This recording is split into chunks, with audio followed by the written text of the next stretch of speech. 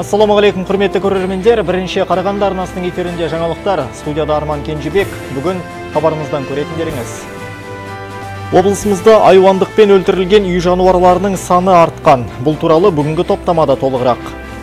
Шетелден келген тауарларда химиялық улы заттардың болуы мүмкін дейді тұрғындар. Алайда азық түліктерде әзірге улы заттардың барлығы анықталмаған.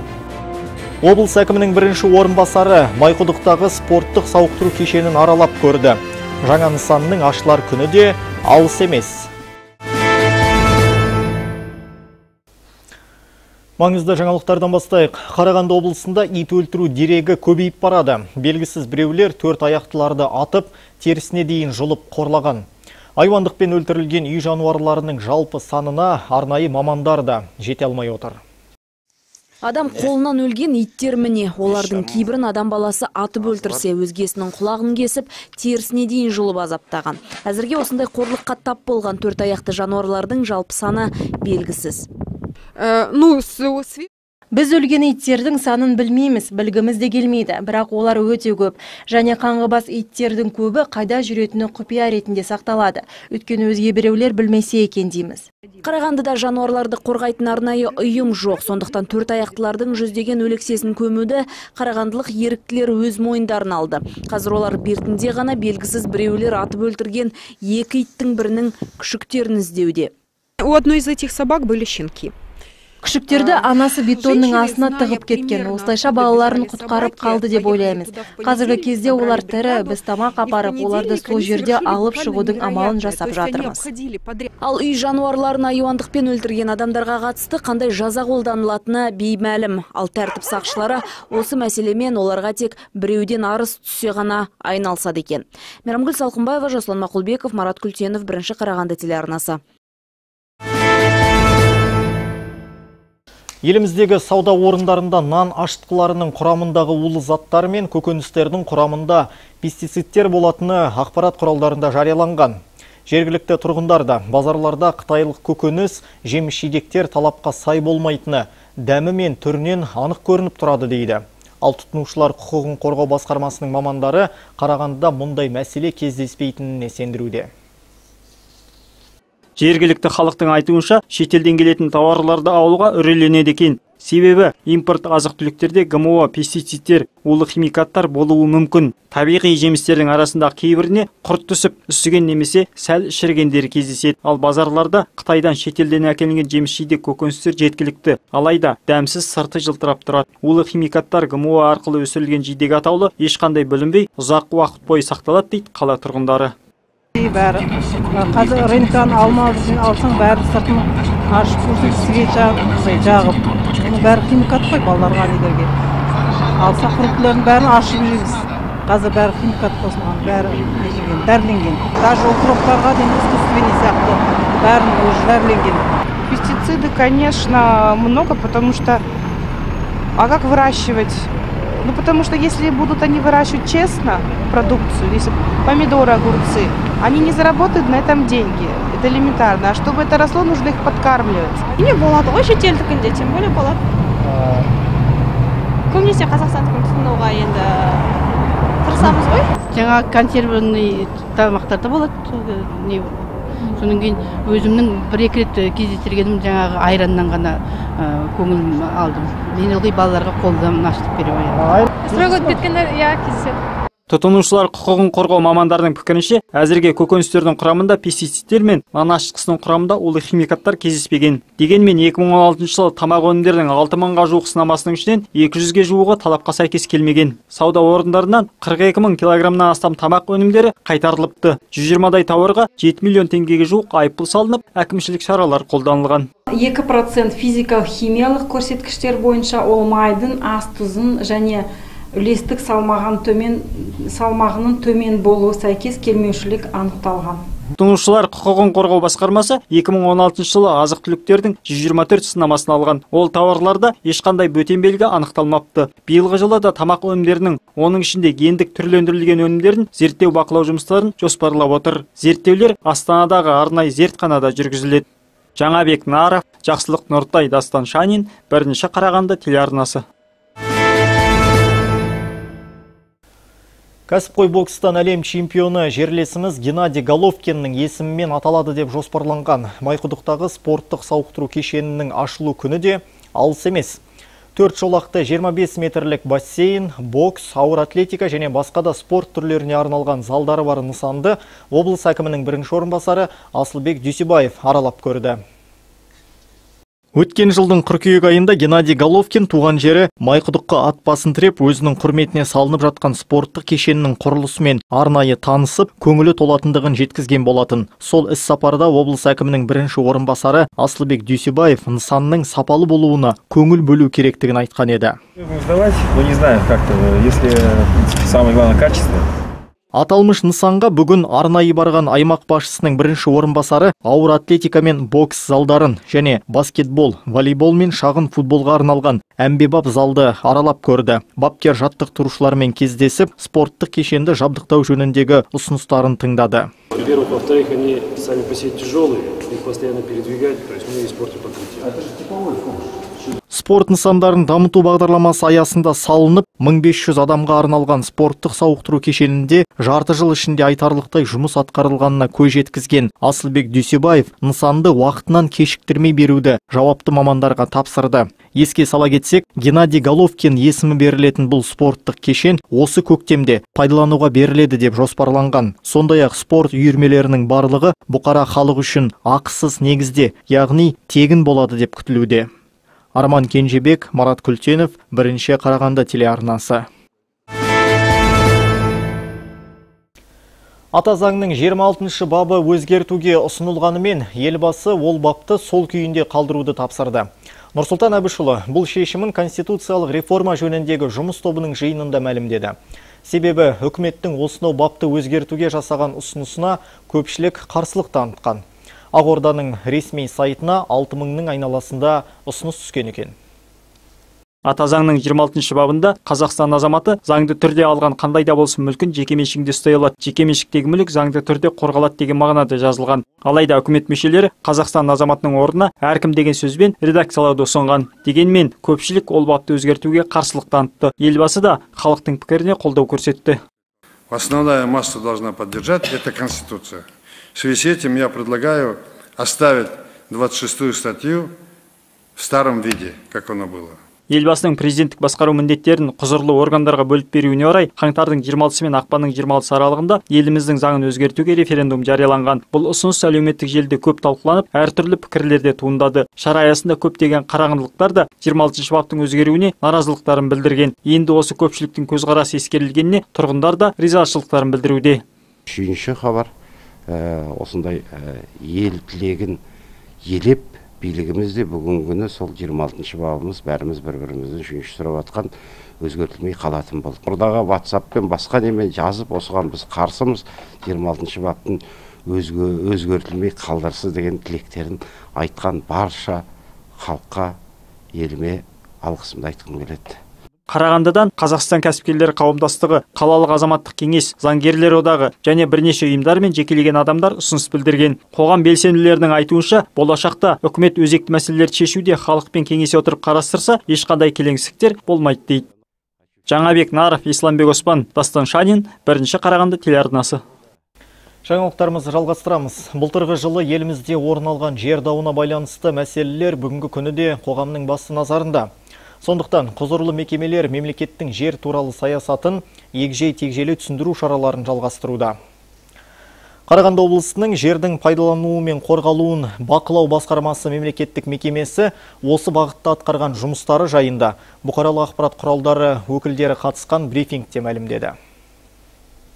Республикадағы жер ресурсы бойынша ең ірі облысымыздың жалпы аумағы 42 миллион 798 гектарды құрайды. Бақылау басқармасы 2016 жылы өңірдегі жалпы көлемі 617,1 мың гектар жерді қамтитын 520 тексеру шараларын жүргізді. Тексеріс нәтижесінде 435 заң бұзушылық іс тіркелген. Ауыл шаруашылығы бағытында қолданылатын жерлерге де бақылау күшейтілген. Жалпы облыс бойынша 14,2 миллион гектар жер ауыл шаруашылығына жарамды. Бұл көрсеткішті одан әрі арттыру жоспарланып отыр. Целях регионального использования землепользователями жер иелерінің егінге жарамды жерлерді тиімді пайдалануы мақсатында 2017 жылға арнайы жоспарымыз бар. Жоспар бойынша бос жатқан жарамды жерлерді ауыл шаруашылығы айналымына енгізу қажет. Биылғы жылы 151 мың гектар жерді ауыл шаруашылығы айналымына беру көзделініп отыр. Ауыл шаруашылығына жарамды жерлерге қатысты 2016 жылы 260 жер еленуші тексерістен өтті. Салдарынан 533 бүтін оннан 1 гектар жерде заң бұзушылық анықталып, 2 бүтін оннан 3 миллион теңге көлемінде әкімшілік айыппұл өндіріліп алынған. хотел бы остановиться на основных нарушениях ауыл шаруашылық субъектілерінің негізгі кемшіліктеріне мыналар жатады біріншіден жайылымды жерлерде ірі қара малдың жоқтығы екіншіден егінді жерлердің өнделмеуі және ауыл шаруашылық өнімдерінің егілмеуі үшіншіден жердің шаруашылық жобасы мен егіс айналымы сызбасының жоқтығы Мемлекеттік бақылау мекемесінің міндеті пайдаланылып келе жатқан жерлерді алып қою емес. Керісінше жерді ауыл шаруашылық айналымына жіберу мақсатында жерді пайдалану бойынша шараларды қабылдау керектігін ескерту. Жалпақ тілмен айтқанда, жер бос жатпай, нағыз жер иесінің қолында игеріліп, адамдардың игілігіне жұмыс істеу керек. Арман Кенжебек, Жақсылық Нұртай, Марат Күлтенов, бірінші Қарағанды телеарнасы. Қарағанды облысы бойынша мемлекеттік қызметкерлерді тестілеудің үшінші кезеңі басталды. Елбасымыз Нұрсұлтан Әбішұлы Назарбаевтың тапсырмасына сай ағымдағы жылы аймағымызда Б корпусындағы шенеуніктердің 2000-нан астамы қайта аттестациядан өтуге міндетті. Бірінші наурыздан бастап аттестациялық комиссия мүшелері өз жұмыстарына кірісті. Науқан барысында облысымыз бойынша 2442 мемлекеттік қызметкер аттестациялаудан өтеді деп күтілуде. Бірінші жарты жылдықта Б корпусының қызметкерлері ғана сынақ тапсырады. Ал 928 маманның біліктілігі сұхбаттасу кезеңінде сыналады. Комиссия мүшелерінің айтуынша кезекті сынақ барысында Қазақстан Республикасының заңнамасы бойынша сұрақтар кездеспейді деп отыр. Бұл аттестацияның бұрынғы аттестациялардан өзгешелігі бұрынғыдай заңды білу талаптары емес. Аттестацияның қорытындысында мемлекеттік қызметкерлердің деңгейін анықтау. Сонымен қоса аттестация мемлекеттік қызметкерлерге жақсы білікті мамандарға осы қызмет сатысында өсуге мүмкіндік беріп соған аттестация мүшелері сондай ұсыныс береді. Мемлекеттік қызметкерлердің біліктілігін тексеру үшін құралған комиссия құрамына мәслихат депутаттары мен облыстық басқарма басшылары кіреді. Ескере кетерлігі бұндай көлемдегі аттестациялау бірінші мәрте өткізілуде. Бірақ осы тексеріс нәтижесі мемлекеттік қызметкерлердің үздіктерін анықтап, кәсіби білікті мамандар жасақтауға септігін тигізеді.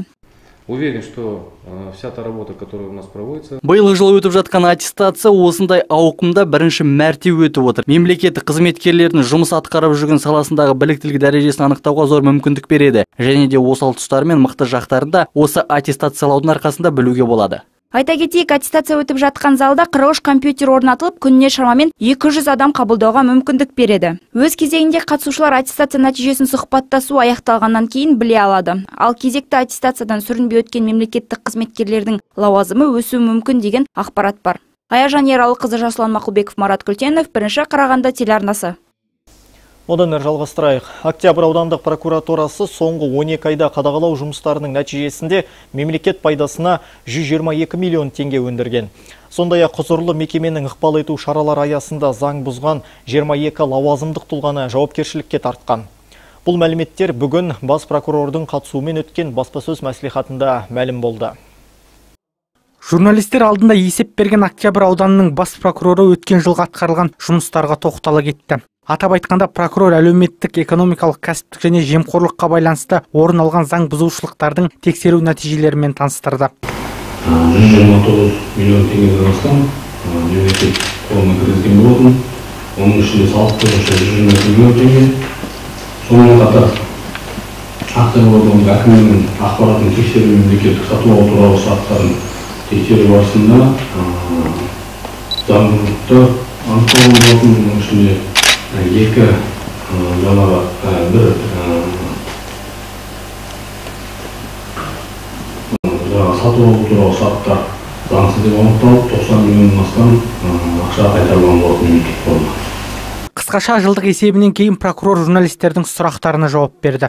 қардың деңгейінің көптігіне байланысты арықтар жабылып қалған мысалға сол қадағалауда алынып жатыр. Ма жалпы тек қана көкпекте емес басқа да аудандар осы қарағанды облысына қарасты.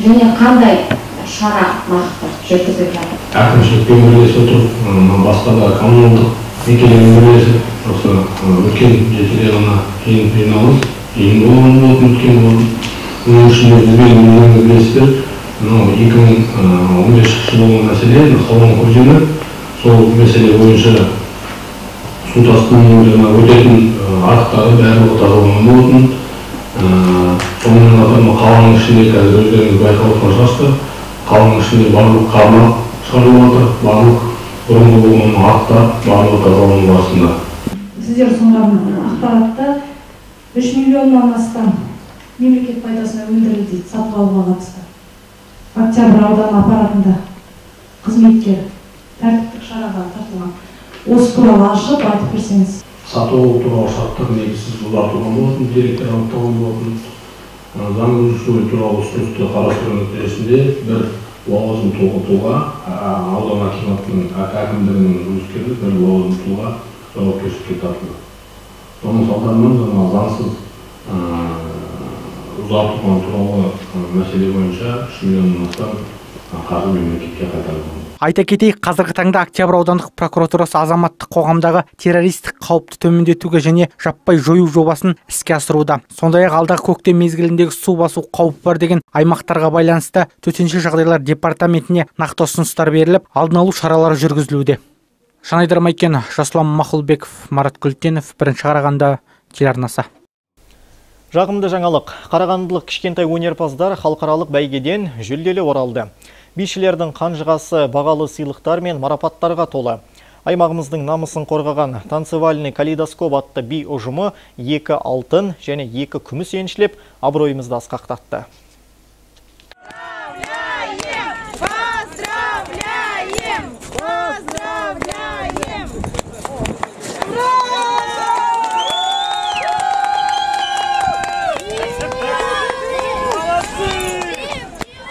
Танцевальный калейдоскоп хореографиялық би ансамблінің жеті жылдық тарихы бар. Аталмыш топ құрылған сәттен бастап тек қана еліміздегі жарыстарда ғана өзін танытып қана қоймай шетелдерде де бірнеше мәрте жүлдегер атанған. Люба тангиеваның би тобына келгеніне бар болғаны екі жыл ғана. Десе де ұжымға қосқан үлесі аз емес екен. Ол өзінің бос уақытының барлығын биге арнайтын көрінеді. Кішкентай любаның арманы зор болашақта өзінің би мектебін ашуды мақсат еткен.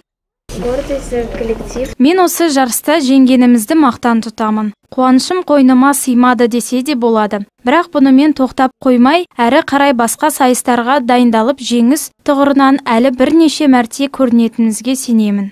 Аталмыш би тобының жетекшісі ирина абыты жарыстарға барғанда кездесетін ең үлкен қиындық ол ұйымдастыру екенін айтады. Бүгінгі таңда танцевальный калейдоскоп хореографиялық ансамблінде жетпіс бүлдіршін бимен шұғылданады. Би ұжымында адам көптігіне қарамастан әрқайсысы үлкен сахна төрінде өзін көрсетуге мүмкіндік алады дейді топ жетекшісі.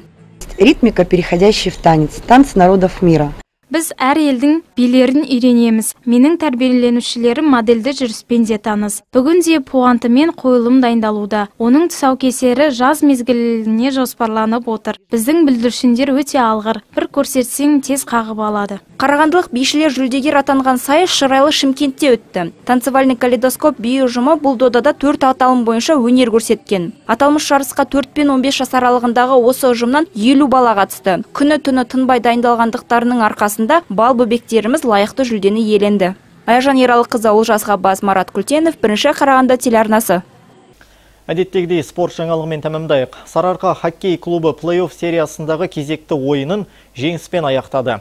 Бірінші наурыз күні чехов қаласының звезда командасымен тартысқа түскен жерлестеріміз үште екі есебімен жеңіске жетті. Қарағандылық ұжым осымен плей-офф сериясында үшінші мәрте үздік атанды.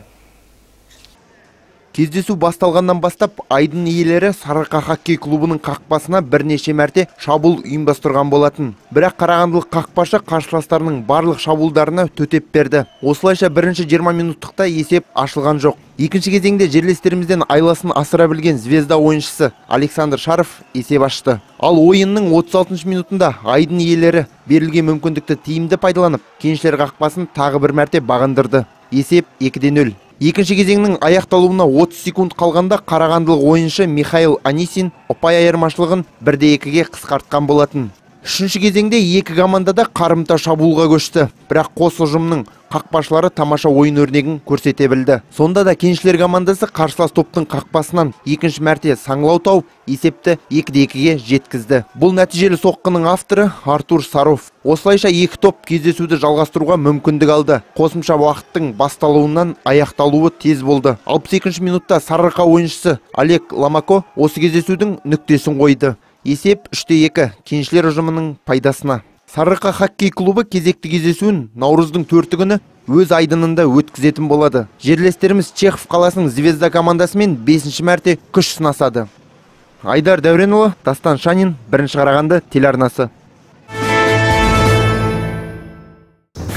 Бейсенбі күніне келіп түскен басты жаңалықтардың реті міне осындай болды. Қандай да қызықты ақпараттарыңызбен бөліскілеріңіз келсе редакциямыздың 42 байланыс телефонына хабарласуға болады. Жаңалықтарымыздың толық нұсқасын арнамыздың сайтынан көре аласыздар. Назар қойып тыңдағандарыңызға рахмет. Қайта жүздескенше аман сау болыңыздар.